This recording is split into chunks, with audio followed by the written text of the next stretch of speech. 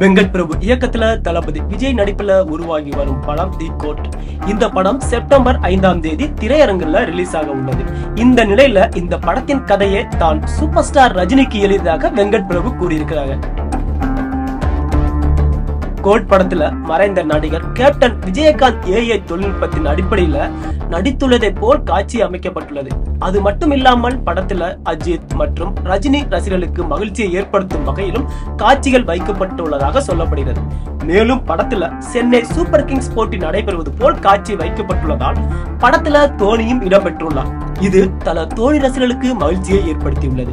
அதே போல படத்துல அஜித் திரையில் இடம்பெறும் காட்சியும் உள்ளது என வெங்கட் பிரபு ஏற்கனவே தெரிவித்திருந்தார். இதனால் அஜித் ரசிகர்களும் செம்ம குசியில இருக்காங்க. இந்த நிலையில கோட் படத்தின் கதையை தான் முதன் முதலில் எழுதும் போது சூப்பர் ஸ்டார் ரஜினிகாந்துக்கு தான் எழுதியதாக வெங்கட் பிரபு கூறியிருக்கிறாரு.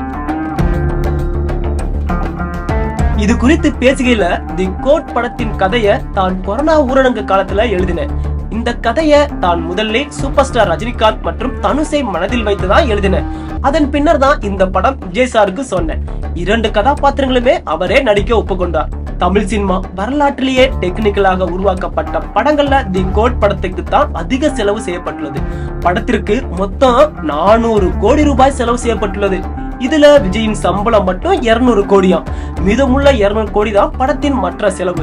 விஜயின் சம்பளம் மட்டும் இவரது நடிப்பில் வெளியான பிகில் படத்தின் மொத்த பட்ஜெட்டினை விட அதிகம். படத்தின் தயாரிப்போ 400 கோடி சொல்றாங்க. இந்த படத்தின் வசூல் இதுவரை தமிழ் சினிமாவில் எந்த படமும் செய்யாத வசூலை செய்ய வேண்டும் என்ற எண்ணத்தில் ஷோலோவாக ரிலீஸ் செய்யப்படுகிறது. மேலும் தமிழ் சினிமா வரலாற்றிலேயே ஆயிரம் கோடிகளை அள்ளிய முதல் படம் என்ற சாதனையை தி கோட் படம்.